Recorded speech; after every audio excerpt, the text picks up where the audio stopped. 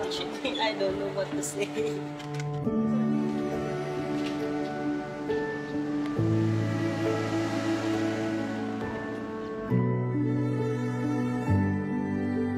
Ang bukasyon ninyo ngayon, natatatakan ng dakilang pag-ibig ng Diyos ay pagsasakatuparan ng tawag ng Diyos yung dalawa.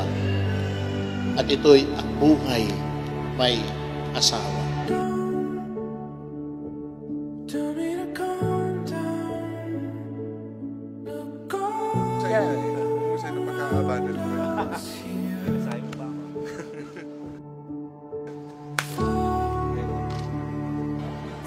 This is it. Ilang oras na lang, ilang minuto na lang. Hindi na ako Miss Perez. Pedraza na. But still, letter P.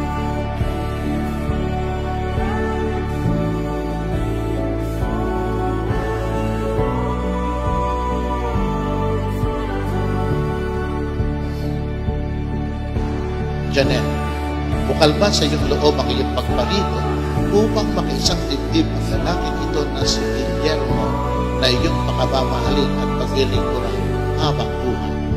Oh, Father.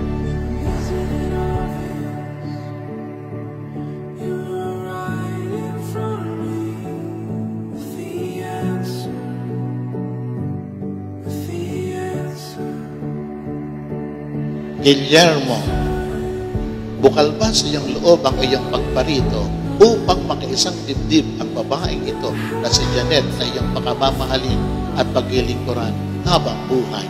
Opo, Father.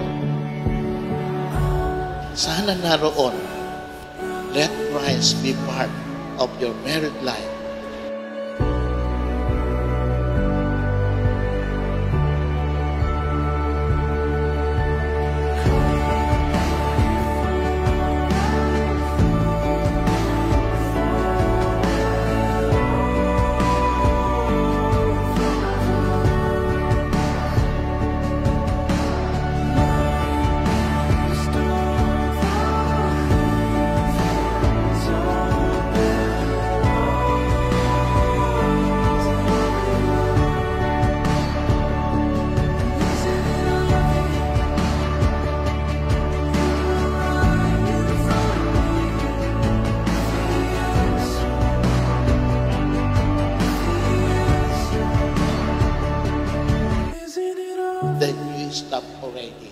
To love. Nangarap kayo sa araw na ito, patuloy kayong mangarap, sabi ng ating Santo Papa, para sa isa't isa.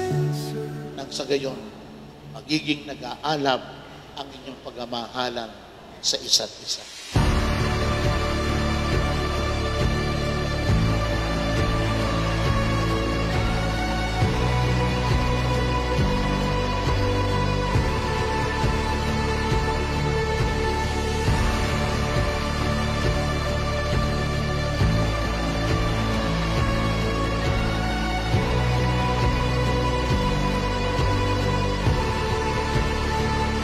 Kayo ay nagpakatagal-tagal, sana naman wala nang problema.